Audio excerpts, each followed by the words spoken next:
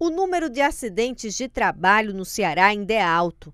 Nos últimos três anos foram contabilizadas acima de 40 mil ocorrências. Somente em 2013, mais de 13 mil trabalhadores sofreram acidentes. Os dados da Previdência Social revelam ainda que 68 pessoas morreram no emprego no mesmo ano e 296 ficaram incapacitados de exercer suas atividades.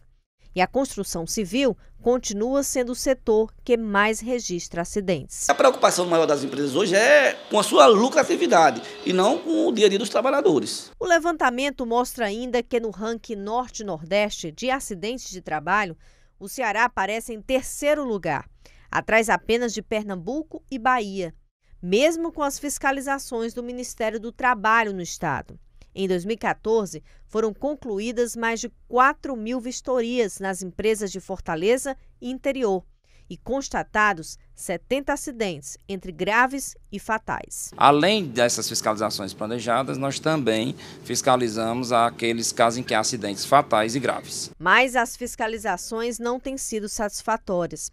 Este advogado trabalhista chama atenção para o número insuficiente de vistorias realizadas nos ambientes de trabalho no Ceará. Existem fiscalizações para multar, mas não existe a fiscalização para que haja uma efetividade no cumprimento, na qualificação dos empregados. Em contrapartida, o Ministério do Trabalho no Estado alega atuar com uma equipe reduzida, o que dificulta vistoriar todos os setores da cadeia produtiva.